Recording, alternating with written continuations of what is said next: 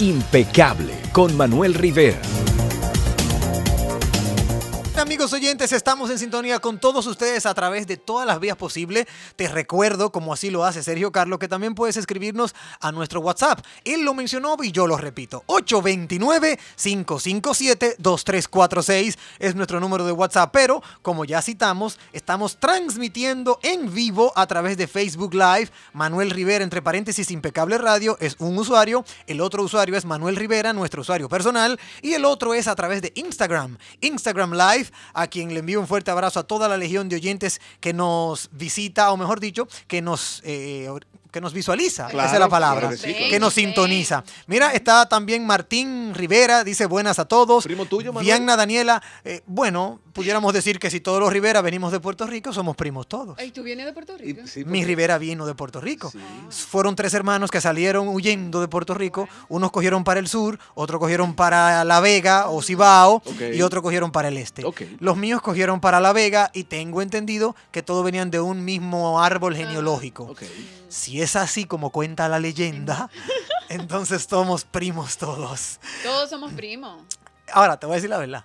En este país todos somos primos. Sí. ¿en qué parte, en qué parte o en qué pueblo es que todos, todos En estos dicen días- primo, primo? En el sur, en el ¿En sur. En el sur, En el el- sur. los En Baní. sureños. Doctor, de, de, Baní para allá hasta Oviedo, Pedernales, todos, Todos son son primos. Todos son primos. Y yo te voy a decir la ¿verdad? Si te pones a buscar el árbol Eh, genealógico de todo el mundo, al final de cuentas, todos, Todos somos son primos. Sí, es así. En estos días yo oí a Karina Larrauri que dijo, mi primo Hugo Vera, y yo, ¿y de dónde salió ese primo? Me imagino que ella habrá buscado, ¿verdad? Sí, su Y- árbol Su un, y de un- una un u otra manera. Gracias. famoso, a ver. Gracias a Agustina Núñez. Dice. Agustina, muchas felicidades, mi prima, por tu programa. Agustina Núñez es prima tuya, me imagino. Me, sí, sí, sí. Porque Núñez es de Doña Rosa Sí, Núñez. sí, sí, sí. Dice, muchas felicidades, mi prima, por tu programa. Sí, sí, sí. Gracias. Dice Fico, mi ex cuñado es Rivera también. Tu Ah, ex cuñado. bueno, Fico, yo espero que tú hayas quedado bien con tu ex cuñado porque ¿verdad? Claro, me voy a sentir mal. claro. Dice Fico que Evelyn y él son primos porque son Núñez. ¿Es verdad? Ah, puede ser. ¿Tú sí. eres Sí, Núñez? Sí, español. No, pero el mío, pues déjame decirte que el mío viene De de, las. Islas Canarias. De España. Tenemos contacto, vamos a válvula de escape. Tenemos válvula de escape, amigos oyentes. Vamos a ver quién está en la vía telefónica con nosotros para que podamos compartir válvula de escape. Ujú, que no es claro. más que tú poner en antena eso que tú deseas comunicar. Positivo o no tan positivo, aquí es bienvenido. Mm, ¡Listo! Cuenta, hermano. Manuel, ¿cómo están ustedes? ¿No se escuchan por radio? Bien. Que no nos escuchamos por radio. ¿Cómo que no, No. Julito? Ah, pero espérate, Sería ahora radio mismo Sandy tuyo. está puyando a ver qué es lo que está Que no pasando. estamos en la Estoy radio. oyendo por Facebook Live del celular. Y, y súbeme tu radio, a ver.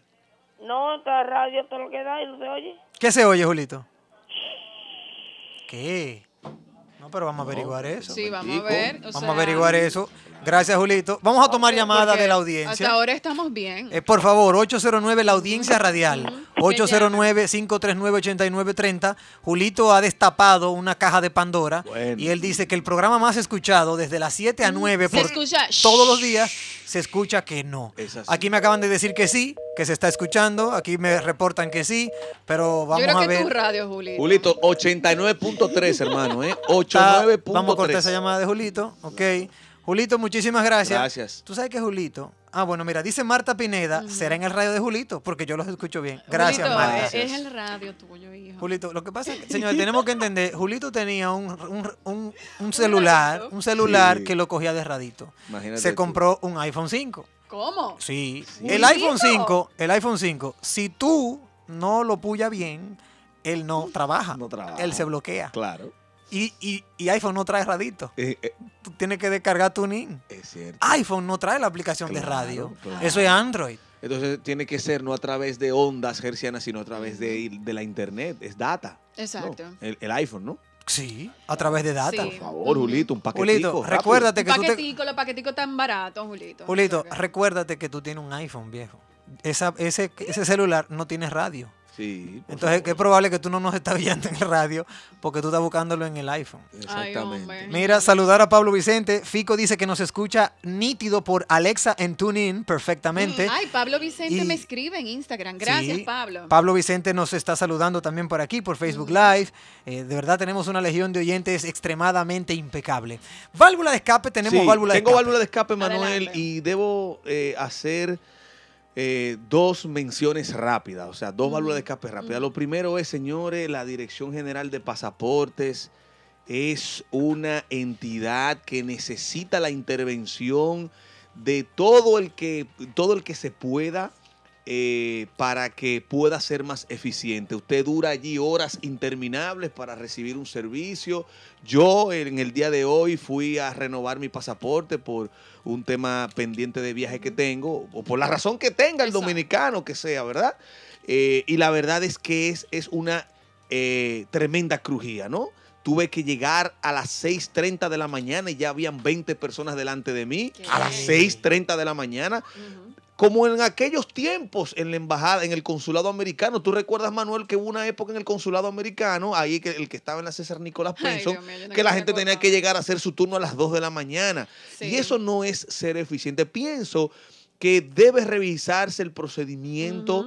En la dirección de pasaporte. Siguen solicitando a mí, por ejemplo, dominicano, que tengo votando en cuatro elecciones, eh, dominicano de nacimiento y origen. Ya tuve mi pasaporte biométrico. ¿Por qué me tienen que volver a pedir mi acta de nacimiento legalizada? Tener que ir a la Junta, creo que eso lo comenté en algún momento aquí. Sí. Es, es Yo una... creo que tú no tienes suerte. Sí. No, creo, no, es que todo el mundo, o sea, a todo el que va a Perdona, No, yo renovar. te comenté que No. a mí me pasó y yo no tuve que llevar nada. Yo, Yo renové y me dijeron, si está registrada aquí en el sistema, usted no tendrá que traerla. ¿Usted quiere tomarse el riesgo y, y ver si la buscamos o, o vuelve otro día? Yo no, tómate Bueno, el riesgo. yo, Mira, el yo no me tomé el riesgo, yo preferí buscar, porque fíjate qué Ah, pasa, yo fui es, ayer, debo, esta es. parte de la historia de, de la válvula no la, no la comenté, yo fui ayer a las 9 de la mañana y, y tuve que retirarme a las 3 de la tarde, porque no, señores, de 9, 10 de la mañana a 3 de la Exacto, tarde es, imp- o sea, no, no existe una institución del Estado que ofrezca un servicio tan dilatado y tan frustrante en el que usted dure seis horas sin obtener un servicio. Pero yo me tomé la libertad de buscar mi acta de nacimiento porque no quería esperar todas las horas, invertir un tiempo y de repente que me digan, no, tiene que buscar un acta de nacimiento. Entonces, no, sencillamente no. Tiene que ser transparente. Usted tiene su acta de... A propósito de República Digital, entra a la página del portal de República Digital y ahí mismo usted consulta si requiere o no un acta de nacimiento. Así ayudamos al ciudadano para que no pierda tiempo. Sí, pero te voy a decir algo. Tú tienes razón. No te quito tu razón. No, es verdad. Ahora, en República Dominicana, como te decía yo los otros días, a veces hay que estar de acuerdo con el tema de, de lo que vivimos, de la realidad en Manuel.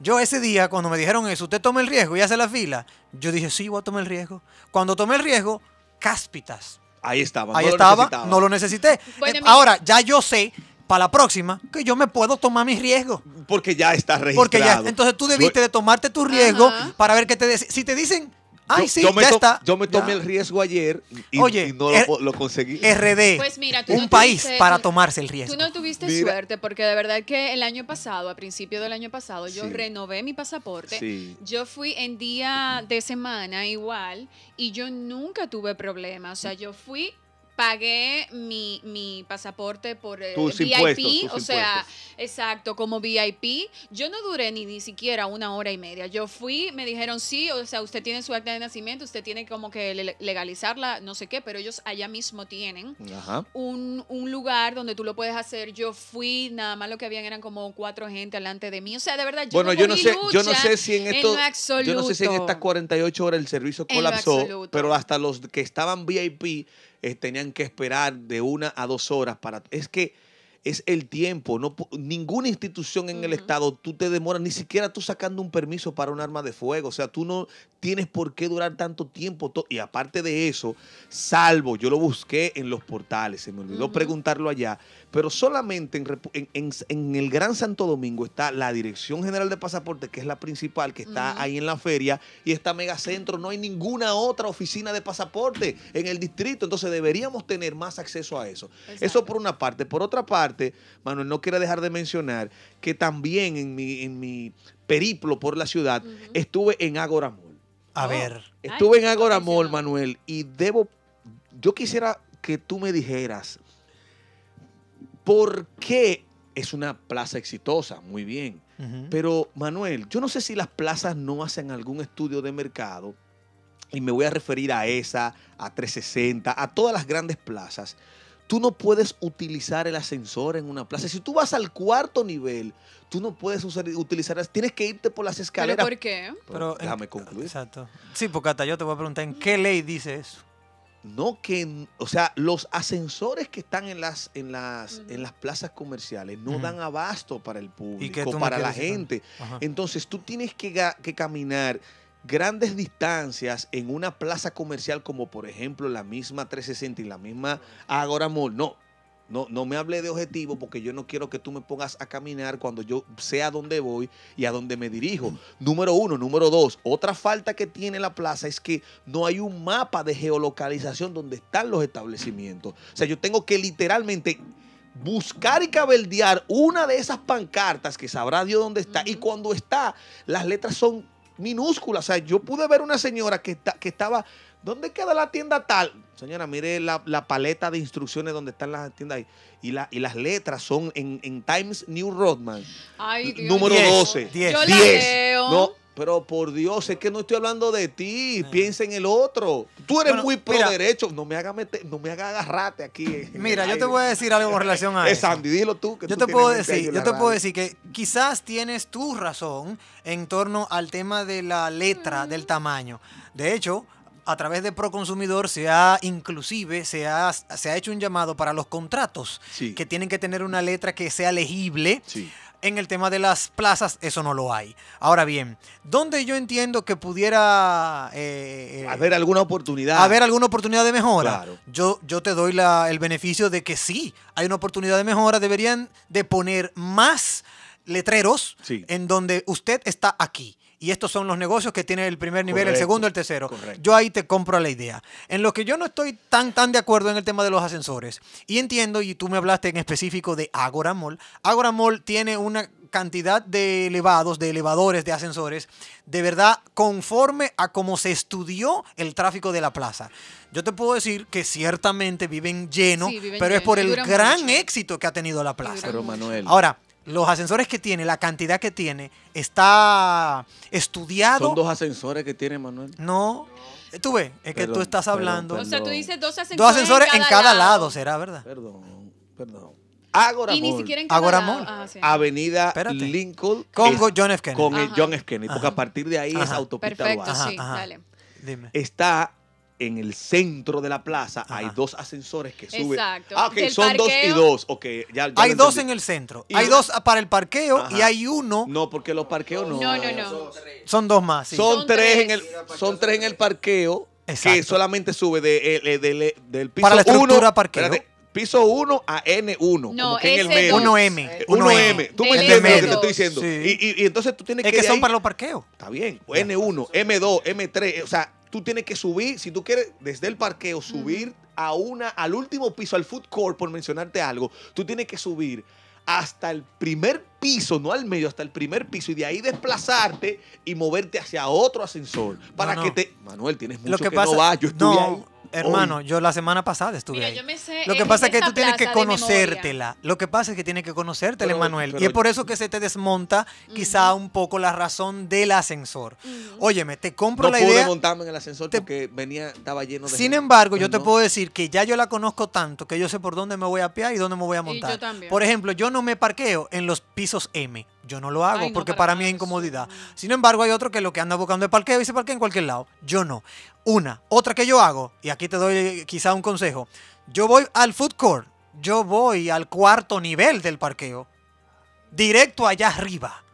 Para no coger ningún tipo de lucha. Pero y allí cojo, y pero allí no cojo- necesari- hay una Ay, no, minoría, tres, una minoría de las personas, una minoría de las personas se dirige directamente al food court porque la mayoría de la gente de las plazas o va a los bancos o va a las tiendas ¿eh? Y acuerdo. aprovecha y come. Yo estando en mi casa en la avenida Abraham Lincoln con, con José Contreras, yo no voy a, déjame ir a comer a Coral Es una minoría que hace eso por Ah, el tema Mall. distancia. Sí, ¿eh? Es una sí, minoría porque sí. tengo otras opciones. Yo te entiendo, pero, Pero no, no insisto en que los estudios de mercado deben estar siempre sobre la base de sobrecargar el producto para llegar, ¿verdad? A, a- a- lo que se necesita. Por ejemplo, un vehículo, voy a, voy a poner este ejemplo que es como yo lo entiendo, un vehículo de carga. Te, le- te lo ponen a prueba para que reciba 5 toneladas, pero a lo mejor el vehículo no está para 5 toneladas, pero la prueba de carga es para eso, para que pueda pasar la prueba de calidad. Entonces, en una plaza comercial,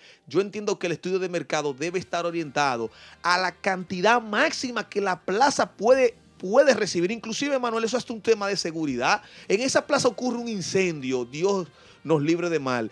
En el último piso, Bueno, hermano, ¿cómo mira. sería el plan de evacuación de esa plaza si puedo- está sobresaturada de no, gente? yo te puedo decir que se han, no se hecho, hizo ese estudio. se han hecho simulacros en esa plaza. Yo te puedo decir, porque me ha llegado los datos, que en esa plaza se han hecho los estudios del lugar, muy rigurosos, por cierto, dado que es el primer, el primer centro comercial ecológico de la capital dominicana. Sí, así. O sea, yo te puedo decir que quizás lo que te pasó a ti es una incomodidad de que fuiste a una hora pico y nunca lo habías vivido. Pero entiendo que el estudio realizado para la- el desarrollo de las operaciones de esa plaza está más que comprobado. Ok. No se anuncian conmigo, pero lo, lo bueno hay que decirlo. Y es una realidad. Ahora, si tú me hablas de otra plaza que yo no conozco sus estudios, yo te digo, ok, pero a mí me ha llegado los reportes de esa plaza, de cómo ellos hacen su simulacro y de todo lo que tomaron en cuenta a la hora de levantar esa infraestructura.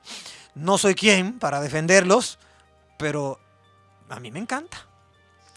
Yo te acepto tu válvula de escape porque No, es tu si válvula te de escape. Está bien. Yo entiendo que sí, porque la válvula de escape está ahí. De cada quien, ¿verdad? Claro, es una plaza exitosa, pero insisto en que Tú entiendes que debió tener más sensores. Entiendo que debería ser más amigable al ciudadano, al consumidor. Pienso yo. Válvula de escape. Impecable Radio, 7 de la noche, por Neón 893. Redes sociales, arroba Impecable Radio, www.impecableradio.com.